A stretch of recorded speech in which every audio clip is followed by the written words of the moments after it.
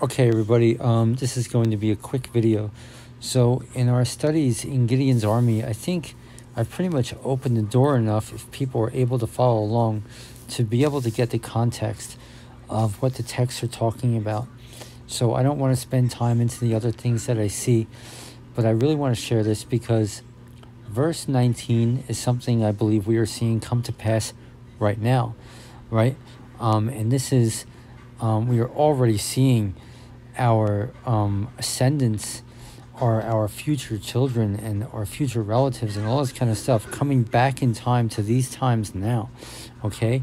So, this is exactly what this verse means by in the beginning of the middle of the watch because 300 men were, you know, he divided the 300 men.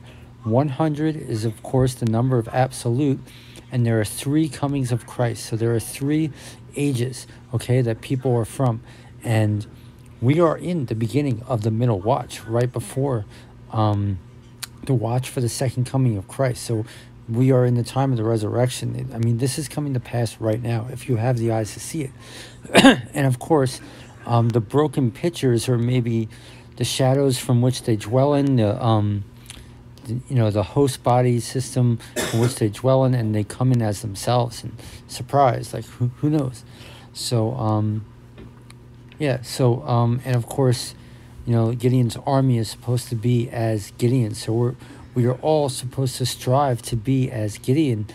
Um, and that means walking in the truth of the gospel, a, a hewer, breaking the rocks of the enemy, loosening their rocks, bringing people to repentance, walking in judgment and might, um, giving the fight onto the Lord, all that kind of stuff. So, yeah, this is a verse we're seeing come to pass right now. Um, absolutely amazing. So I just wanted to point that out. People have eyes to see and ears to hear. Um, have a good night. Allah bless you.